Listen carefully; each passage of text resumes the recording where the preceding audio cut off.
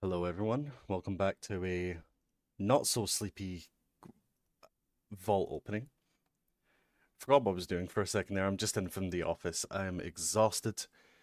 Tell you, working from home for so long kind of ruins this. This is quote quote sleepy vault opening 17. We're starting off on our monk, which for this season we are purely focusing on DPS.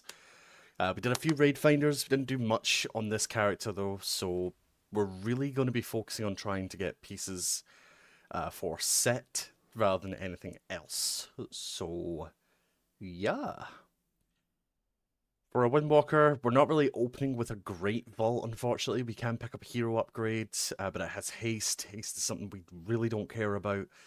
Uh, we already have legs at hero. We have champion cloak, which we can change, uh, but it's haste verse.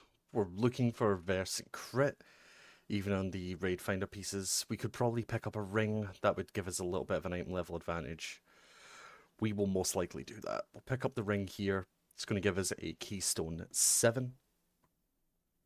And that keystone is Nokhud Offensive.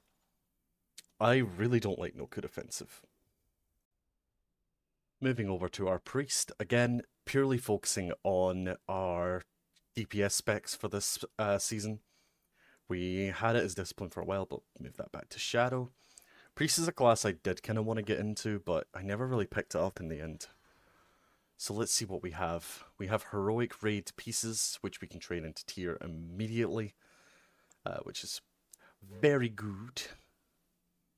And it looks like we are most likely going to be focusing on getting uh, the tier pieces immediately. I do really want to get this neck, though. Do you know what? We'll take the neck.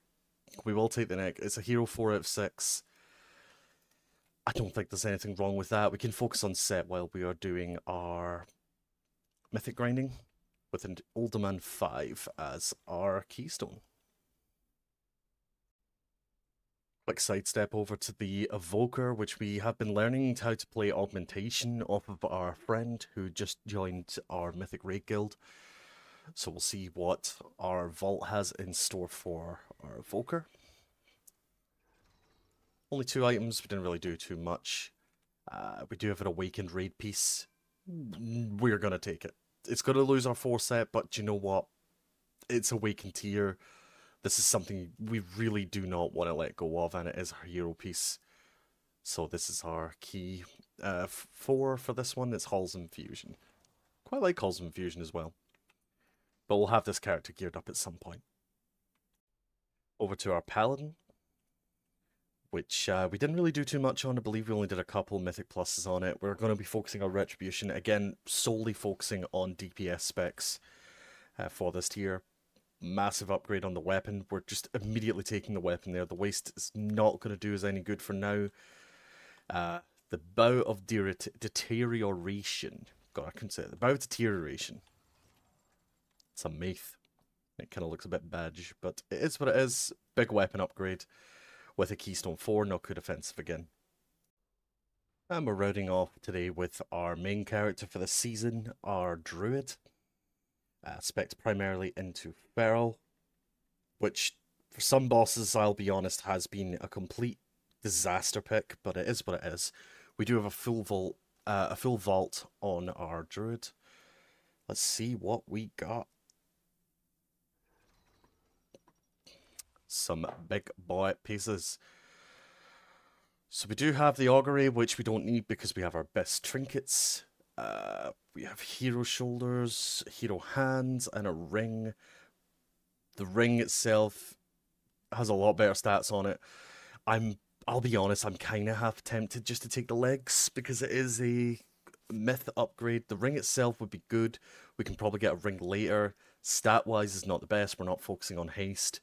Uh, it's mostly crit and mastery. So we'll take the uh, legs, even though it does have haste on it. But do you know what? Myth upgrade. Cannot hate a myth upgrade. We have a Keystone 7 off the back of it as well.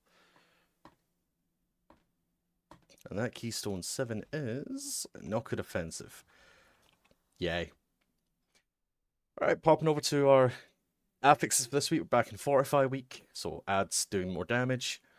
And we have Afflicted and Raging, so people better be having their CCs ready to go. Or not CC, sorry, their heals, their dispels. So Druids, make sure you're trying to get your Remove Corruption. Some classes are probably going to be exempt for this. Uh, most likely, I'm believing, at least for me, it will be Feral. Will be, you know, this is not an option I can really take. I can do some quick healing with Predatory uh, Swiftness. Raging's going to be great because most druids are taking Soothe anyway. It's kind of vital for Stampeding Roar. But yeah, so far, I just thought I'd extend this a little bit as well. I want to talk about how the season's been. It's only been, I think this is now the fourth week we're in.